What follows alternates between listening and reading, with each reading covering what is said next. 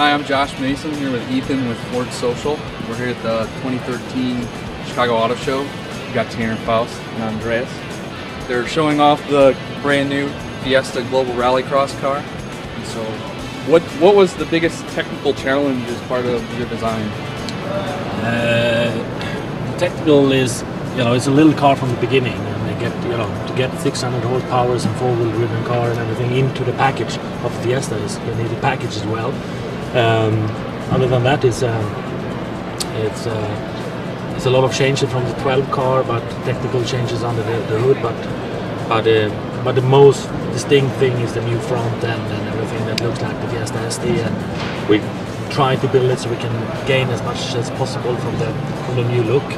Uh, in terms of braking, cooling, and intercooler cooling and stuff like that. So, so everything we do, we try to make a technical advantage uh, to make something better and more performance. Got any questions? Yeah, Tanner, what's your favorite thing about this car? Uh, my favorite thing about this car is the, just the acceleration. It's the the raw power, and I think when when they're designing something like this, because it's so short wheelbase, it changes direction so quick. So it's easy to get addicted to how nimble it is. And when you're off the gas, though, you have maximum boost because of the anti-lag. And so as soon as you touch the throttle, the acceleration's immediate. So, how much faster do you think this is than last year's version? I don't know. I think the you know the car Andreas and OMSE built the car to the limit of the rules, and and the rules haven't changed much. So the car is going to be probably similar speed, but we can take advantage of, like Andreas said, with the the new design on the front end. In kind of traditional American style, as the sport comes here, the tracks are different, so the way that you would build a car is maybe a little different. And so Andreas has had to adapt to that when building this car. And so I, I think the 13 iteration will fit more the US type tracks. What's going through your head like when you're in the race? What are you actually thinking about? It looks like there's so much going on. I mean, what what's going through your head? Nothing. Nothing at all. It's- wow. I'm going to have to do laundry on Tuesday. The flight is probably going to be late with this weather.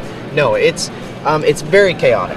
And so it's an interesting thing because you have to, uh, when things are so chaotic, it's easy just to, to make them visceral and, and rely on natural instincts. Uh, but that's kind of bad in driving. So usually what I focus on are three or four points of the track that I know from practice and from qualifying that I've wanted to work on.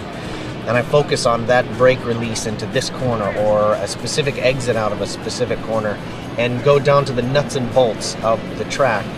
And that's usually uh, enough to stay focused. So when you start a design or a redesign, how much feedback do you get from Tanner when you're developing the car? Is it all the time, or is it just feedback he's talking well, both positive and negative? Is it is it throughout the process, or is it you bring a finished product and you get the stamp of approval? No, no, no. I, I, all my drivers have some kind of feedback. You know, I have, uh, I listen to everything they say during the season, uh, because when the season starts, you can't change anything. You can only adjust what you have. So when you rebuild the car, you need to find what was good, what was bad, uh, what did we put too much, you know, thought or, or problem solving into.